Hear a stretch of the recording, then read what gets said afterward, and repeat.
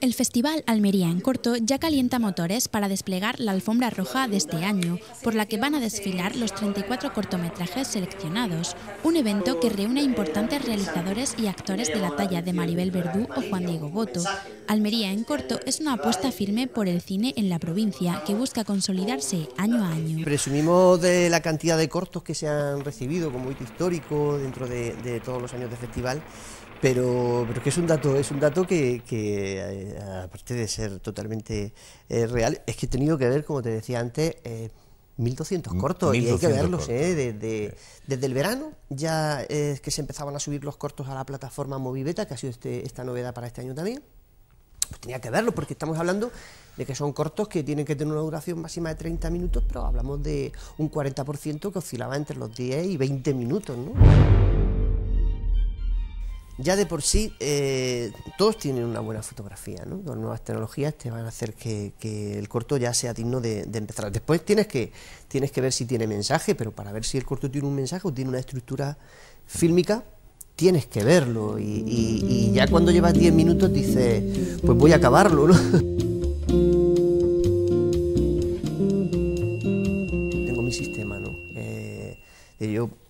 está claro que primero hago un previo del corto, veo si el corto eh, desde el punto de vista técnico ya merece la pena. Eh, después analizo el mensaje, si, porque también el mensaje tiene que estar acorde con la línea del festival de este año que, bueno, que he marcado, que es una reflexión social del mundo. y, y, entonces, si ya no cumple con, con esa característica principal, pues el corto pasa a, otra lista, ¿no? Entonces, pues mi sistema era ese y, hacía anotaciones de, bueno, si el corto era un estreno o si ya tenía un palmarés, que a mí no me gusta que estén condicionados a, un palmarés. No, no, yo, eh, de hecho en la selección eh, soy, una persona que prefiero arriesgar con los estrenos y pues, estoy corto, muy extenso. Hay cortos, cortos que han estado en Cannes, hay cortos que han estado en la Bienal de Venecia, hay cortos que han estado en Málaga, en San Sebastián, eh, y acumulan 6, 7 palmares. Pero también tengo estrenos, ¿eh? estrenos, que, estrenos que, como director considero que es importante que ese corto pues se vea. Este año también eh, tenemos directo, actores que todos son conocidos como es, actrices como Maribel Verdú, eh, Juan Diego, que, que, bueno, que los tenemos en selección y además hay coincidencias con los Goya. Pues yo diría que de punta a punta del mundo eh, podemos hablar de bueno, Europa. Europa, además, mm, en Europa se están, se están haciendo cosas muy interesantes. ¿eh? En la, eh, todo lo que es la zona de Europa del Este, incluso.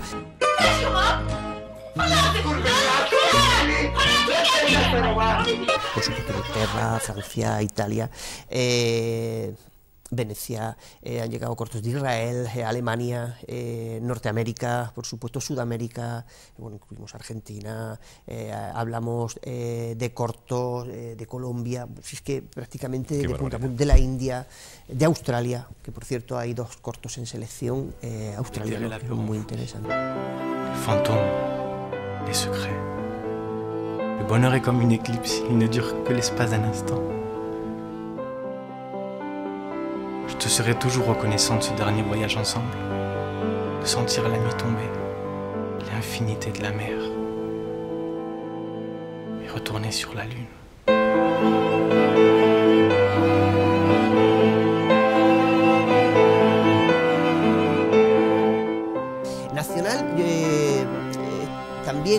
Ese, ese cambio, ese cambio en otras, eh, en otras selecciones, por ejemplo, cuando estuve de jurado, recuerdo en Cádiz, eh, pues también dentro de la sección eh, nacional, mm, si lo contrasto con, con, esta selección, veo que hay cortos que se diferencian muchísimo, han evolucionado más, a, son más europeístas, ¿no? tienen, tienen un concepto distinto al producto nacional, es decir, que esa evolución creo que es muy positiva, ¿no? que, el, que el corto compita a nivel internacional y que no sea un corto tan, tan de casa, tan de la tierra, pienso que es, importante ¿no? para promocionarse. En esta edición se han presentado más de mil cortometrajes procedentes de todos los puntos del globo, desde Estados Unidos hasta Australia, un crisol de culturas para mostrarnos el mundo a través de un objetivo.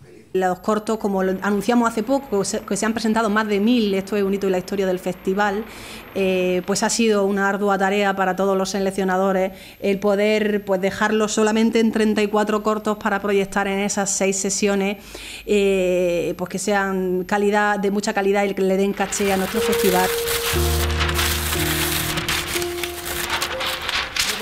Vendían eran los géneros sueltos, que luego iban a mi casa, que mi madre y yo cosiéramos. Tenemos cinco cortos eh, almerienses en competitiva eh, y además el, corto documental que este año también va a competir por primera vez en, Almería, entre cortos almerienses, un, un documental, ¿no? porque como sabes, Almería en corto es un, festival abierto a cualquier género.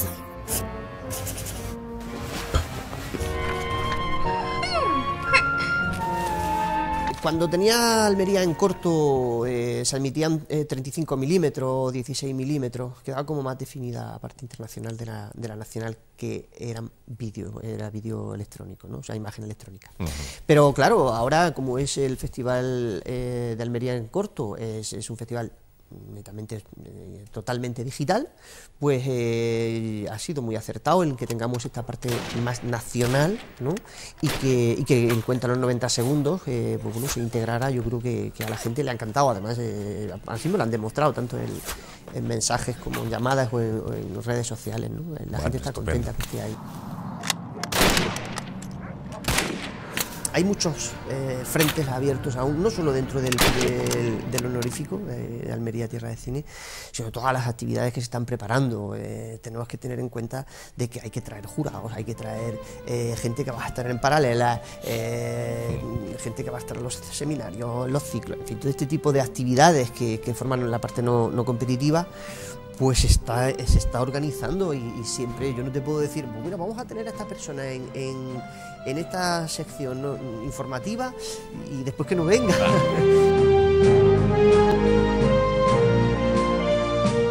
Laurens de Arabia será el protagonista del cartel de esta edición de Almería en corto, un homenaje a esta aclamada película que llevó los paisajes y el cielo de nuestra tierra por todo el mundo.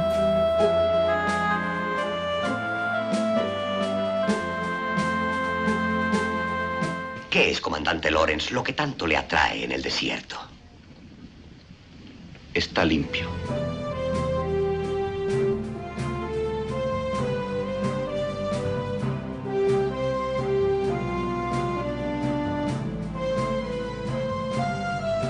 Evidentemente, La Arabia fue una de las películas más épicas que se rodaron aquí en Almería y quizá el película más, más, cinematográfico de la Tierra. ¿no? Eh, y eh, durante las actividades que tengamos, tanto en fecha en días anteriores como durante las secciones competitivas, bueno, lo que será ya el, festival en sí, pues también se están viendo algún tipo de, opciones que podamos dar para que no solo la imagen del cartel esté presente, sino también otro tipo de, actividades paralelas eh, que, estén ahí también. Estamos viendo opciones válidas.